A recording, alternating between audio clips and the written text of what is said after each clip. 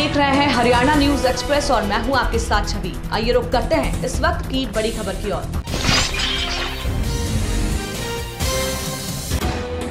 सिरमौर जिला के धौलकुआ क्षेत्र में एक खड्ड जो कि बरसात में बहुत विकराल रूप ले लेता है और ग्रामीण लोगों को बहुत समस्या का सामना करना पड़ता है। यहाँ पर लगभग 10 करोड़ की लागत से बनने वाले दो पुलों का नाहन के विधायक अजय सोलंकी ने विधिवत रूप से भूमि पूजन किया।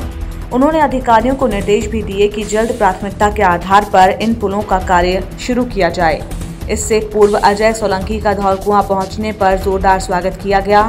विधायक अजय सोलंकी ने बताया कि ये खड्ड आईआईएम के साथ लगता है और बरसात में लोगों की परेशानी का सबब बनता है। इसीलिए यहाँ पर दो पुल बनाए जा रहे हैं ताकि लोगों को सुविधा हो सके।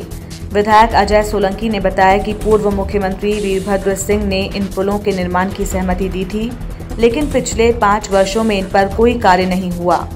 अब सरकार ने इन दोनों पुलों के जल्द निर्माण करने के निर्देश दिए हैं ताकि लोगों को लाभ मिल सके। नाहन से हमारे संवाददाता जितेंद्र ठाकुर की रिपोर्ट। पिछली जो सरकार थी हमारी, वीरभद्र सिंह जी, तत्कालीन मुख्यमंत्री वीरभद्र सिंह जी ने इसके लिए बजट का प्रावधान भी किया था, सब कुछ अप्रूवल भी थी डी पी आर अप्रूव लेकिन विडम्बना ये है कि पिछले पाँच सालों में इसको कार्य टेंडर किया गया केवल आकर में, लेकिन कार्य प्रगति पे भी नहीं रहा। जिस, जो काम स्पीड अप होना चाहिए था, वैसा स्पीड अप नहीं हो पाया। तो जो भी कार्य रुके हुए थे, हम उसको गति देने के लिए प्रयासरत है सरकार और विभाग को भी निर्देश है। उसी संदर्भ में आज इस, जो ये, आज हम जिस जगह खड़े हैं, यहाँ तीन करोड़ तीन करोड़ एक लाख का एस्टिमेटेड कॉस्ट है इसकी।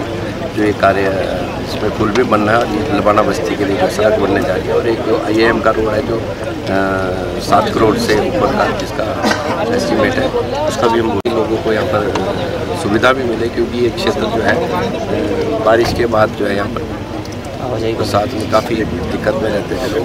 तो इससे बहुत बड़ी एक क्षेत्र को सुविधा भी मिलेगी और आईएएम जैसा संस्थान, वो भी जल्दी से जल्दी जो है यहाँ पर क्रियाशील होगा।